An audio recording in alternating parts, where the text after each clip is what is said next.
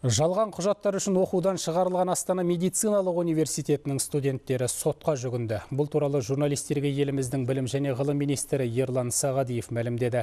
Айта кетейік, бұл жоғары оқу орнында 117 студент IELTS сертификатының жалған нұсқасын ұсынған анықталған.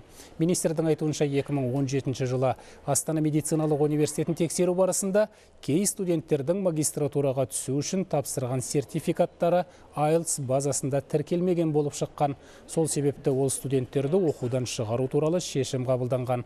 Қазір олардың үстінен қылмыстық іс қозғалды. Бұған келіспеген студенттердің кейбірі сотқа жүгінбекші. Сондай-ақ осы оқиғадан кейін білім және ғылым министрлігі барлық университеттерге магистратураға түсер кезде үміткерлер ұсынатын TOEFL мен IELTS сертификаттарын бірыңғай базадан тексеруді міндеттемекші ал шу шыққан астана медициналық университетіне қатысты шара қолданыла ма? Жоқ. Тексеріс аяқталған соң белгілі болады.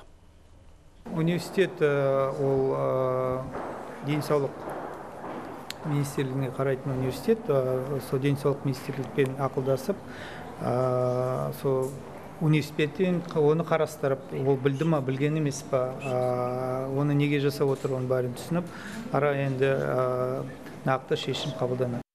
Ал ұлттық бірыңғай тестілеуді тапсыру талаптары биыл айтарлықтай өзгермейді. Алайда емтихан ыңғайлы өту үшін талапкерлерге қосымша жағдай жасалады. Бұл туралы білім және ғылым министрі Ерлан Сағадиев есепті кездесуде айтты.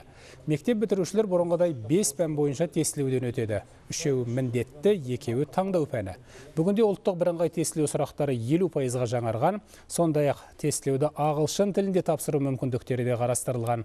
Емтиханды шет тілінде тапсыруға ниеттілер саны бүгінде 200-ден асқан. Тағы бір өзгерістер. Енді ұлттық бірыңғай тестілеу сертификатымен бірге талапкерлерге жоғары оқу орындарының тізімі мен грант саны көрсетілген ақпараттық парақты беріледі.